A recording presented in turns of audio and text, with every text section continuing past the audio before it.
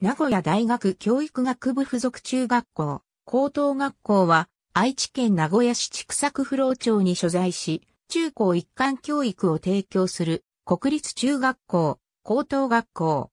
名古屋大学教育学部の附属学校であり、国立学校では唯一の併設型中高一貫校である。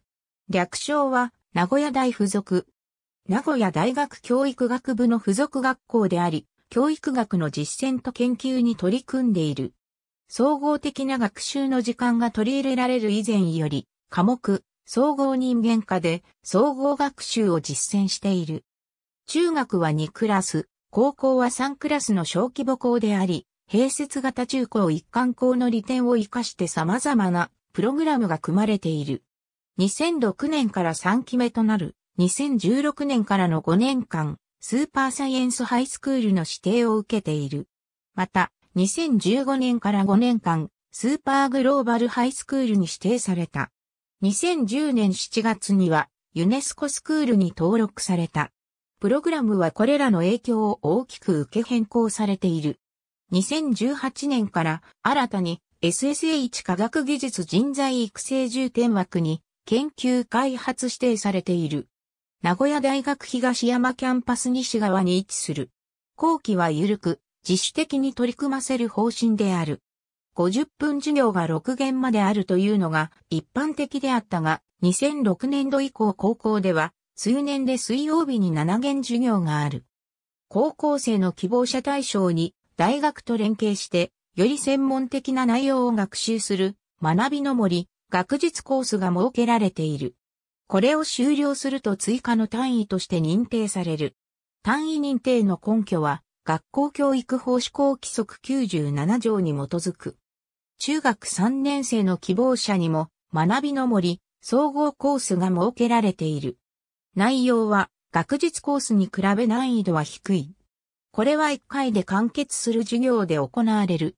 総合的な学習の時間や、スローパイ2など、特色ある授業が多い。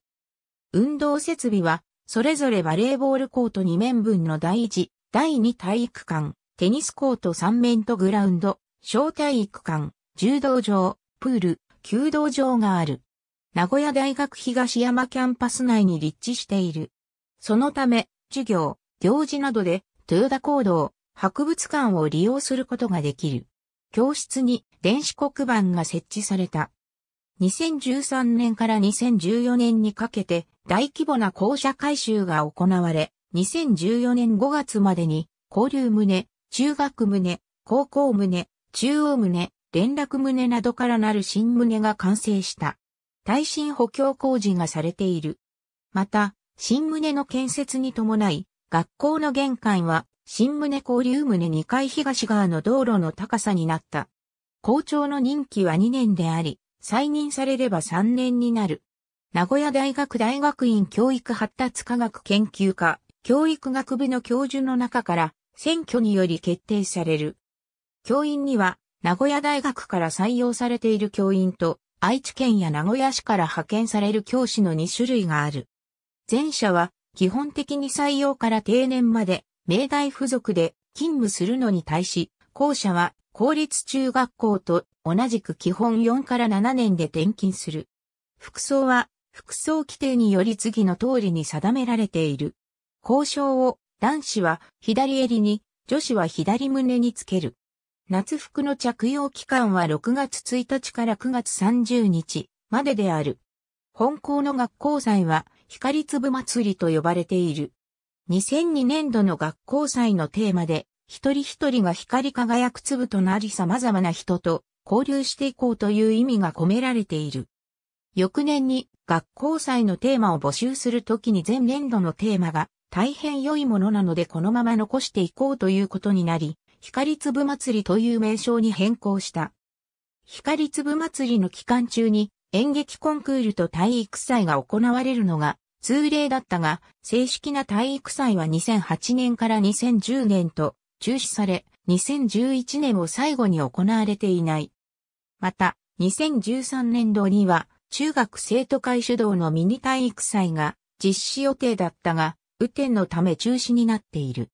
2014年度は高校生のみの体育祭が開催されたが、2015年度は体育祭は行われないことが決定された。2018年度の体育祭は実施される予定となっていたが、雨天のため中止となった。大概9月の第3金曜と土曜に行われており、土曜が一般公開となっている。2015年度は9月第1金曜と土曜に行われた。小学生は保護者と一緒に名前を記入し入場できる。高校生は制服を着用し、生徒手帳を持っていないと入場できない。卒業生は身分証明書を見せ、高3時の担任を答えることで入場できる。各クラスで一つ台本を決めて演劇をし、それがいかにうまいかを競う。賞はいくつかあり、優秀賞、最優秀賞、最優秀主演賞、最優秀助演賞、生徒が選ぶ、最優秀賞、大道具賞、音響証明賞などがある。なお、賞は変わる年もある。通称、ホームルーム、表記、HR。その年の光粒祭りのテーマにあったテーマを、クラスで考え様々な企画をして来場者に楽しんでもらうという企画。一種のクラス対抗戦。これにも賞があり、基本的には来場者の投票によって決まるが、その審査基準や必要性をめぐりここ数年議論がある。生徒が中心となって研究を推進してゆく SSH 活動の一つ。6つのプロジェクトが活動を行っている。日常の活動は授業後に行われ、中学生と高校生が一緒に活動する。2008年度まで使用されていたチャイムが独特なメロディであった。1955年まで使用していた愛知県豊川市の休校地は、現在は名古屋大学宇宙地球環境研究所の用地となっている。2017年度まで各年で演劇鑑賞会が行われていたが、2018年度より廃止となった。2017年度より各校舎の後、教員が採点の確認のため45分授業になることがある。ありがとうございます。